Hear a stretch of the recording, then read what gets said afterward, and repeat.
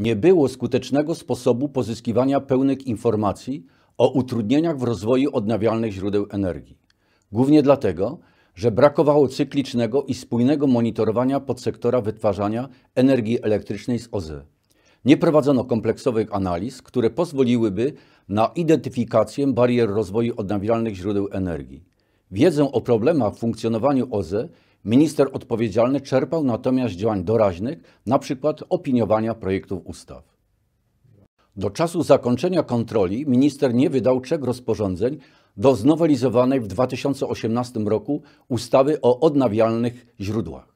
Nie osiągnięto też celów założonych w tej ustawie. Do końca 2020 roku miało powstać 130 małych hydroelektrowni, powstało 27. Ze 100 nowych instalacji biogazowych wybudowano 19. Istotne przyspieszenie w ograniczeniu barier rozwoju OZE nastąpiło dopiero w 2018 roku. Wprowadzone zmiany dostosowały system wsparcia OZE do możliwości mikro, małych i średnich instalacji oraz zwiększyły efektywność systemu aukcyjnego.